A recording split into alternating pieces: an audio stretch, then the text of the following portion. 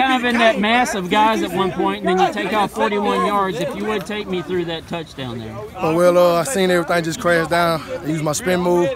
You know, we was out to the races. So it was a spin move in the Yes, sir. huddle? Yes, sir. Spin move. Yes, sir. Well, I mean, did it just feel like a relief to see green grass? Nothing, Yes, sir, it not did. much was coming easy. Yeah, it really did.